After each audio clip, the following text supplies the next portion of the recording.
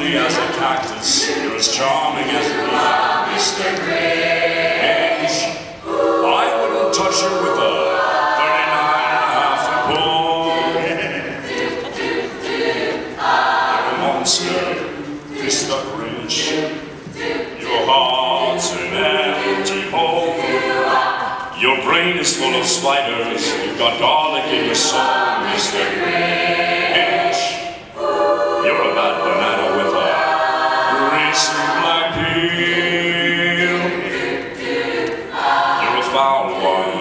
Mr. Grinch.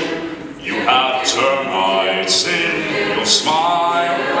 You have all the tender sweetness of a seasick crocodile, Mr. Grinch.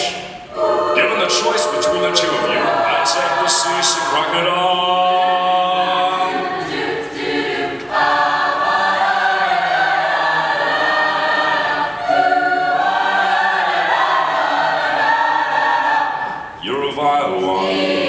Mr. Grinch.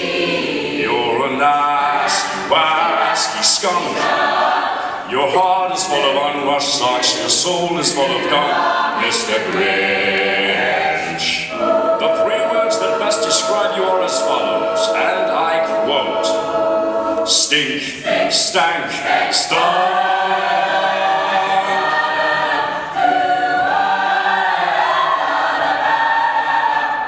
You're a mean one, Mr. Grinch.